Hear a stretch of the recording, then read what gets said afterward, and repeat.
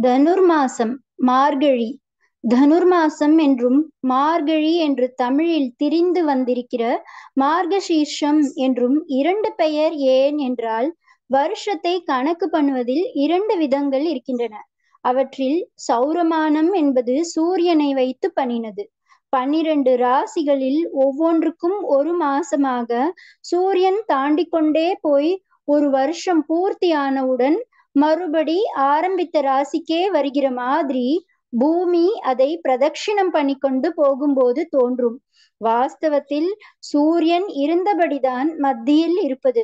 பூமிதான் அதை சுற்றி கொண்டே போய் ஒரு வருஷம் ஆனதும் ஆரம்பித்த இடத்திற்கே வருவது. ஆனால் பார்வைக்கு மாறுதலாக தெரியும். பூமியின் அந்த ஒரு சூரிய பிரதட்சிணம் மாசத்திற்கு ஒரு ராசி வீதம் நடந்து முன்னூத்தி அறுபத்தஞ்சு நாளில் அதாவது ஒரு வருஷத்தில் பன்னிரண்டு ராசியையும் கவர் பண்ணி விடுகிறது இவ்வாறு உள்ளபடியே வைத்து கொண்டாலும் ஒரு ராசிக்கு வருஷத்தில் பன்னிரண்டில் ஒரு பங்கான காலம் பிடிக்கிறது என்ற ஃபேக்ட் நிற்கிறது. ஒவ்வொன்றின் பெயரிலுமாக முதல் மாசத்தை மேஷம் என்கிற ராசியில் ஆரம்பித்து அதற்கு மேஷ மாசம் என்று பெயர் கொடுத்து அப்படியே வரிசையாக சொல்லி கொண்டு போகிற போது ஒன்பதாவது மாசம் தனுர் ராசியாக அமைவதால் அதற்கு தனுர் மாசம் என்று பெயர். இன்னொரு வித கணக்குக்கு சாந்திரமானம் என்று பெயர். சந்திரனை வைத்து கணக்கு பண்ணுவதால் அப்படி பெயர். அதன்படி ஒரு கிருஷ்ணபக்ஷம் பிளஸ் ஒரு சுக்லபக்ஷத்திற்கு எத்தனை நாள் பிடிக்கிறதோ அது ஒரு மாசம். பெரும்பாலும் ஒரு கிருஷ்ணபக்ஷ பிரதமையிலிருந்து அடுத்த கிருஷ்ணபக்ஷ பிரதமை என்றே சாந்திரமானக்காரர்கள் அனுசரிக்கிறார்கள். வடக்கே ஒரு பௌர்ணமியிலிருந்து அடுத்த பௌர்ணமி வரை ஒரு மாசம் என்று வைத்துக் கொள்வதும் இருக்கிறது. தமிழ் தேசத்தில் இந்த சாந்திரமான வழக்கே ரொம்ப காலத்திற்கு முன்னால் இருந்ததால் தான் மாசத்திற்கே திங்கள் என்று சந்திரனின் பெயரை கொடுத்திருக்கிறது. இதில் எந்த நட்சத்திரம் ஒரு பௌர்ணமி அன்று சந்திரனுக்கு கிட்டே இருக்கிறதோ அதன் பெயரையே அந்த மாசத்திற்கு பெயராக வைத்திருக்கிறது. சித்ரா நட்சத்திரம் பூர்ணிமை சந்திரனுக்கு கிட்டே உள்ள மாசம்தான் சித்ரை. வைகாசம் அப்படி இருப்பது வைகாசி.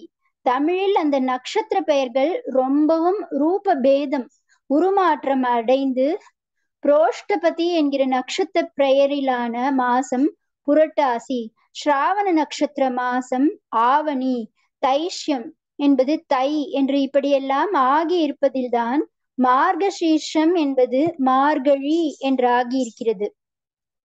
தாரா தாரகை மண்டலத்தில் நட்சத்திரங்கள் என்று பிரதானமாக இருக்கிற இருபத்தேழும் ராசிக்கு இரண்டே கால் நட்சத்திரம் வீதம் பன்னிரண்டு ராசிகளில் கவர் ஆகி விடுகின்றன.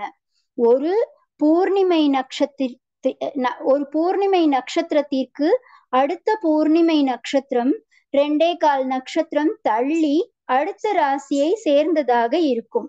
இப்படி இருப்பதால் இங்கேயும் பன்னிரண்டு பூர்ணிமைகளில் அதாவது பன்னிரண்டு மாசத்தில் ஒரு வருஷ காலம் பூர்த்தியாகி விடுகிறது. மல மாசம் அதிக மாசம் என்று ரொம்ப டீட்டெயிலில் போகாமல் சொல்லிக்கொண்டு போகிறேன். சௌரமானபடி மேஷ மாசம் என்பது இங்கே சித்திரை மாசம். ரிஷப மாசம் என்பது வைகாசி மாசம். இப்படியே சௌரமான தனுர் மாசம்தான் சாந்திரமான மார்கசீர்ஷமாகிற மார்கழி.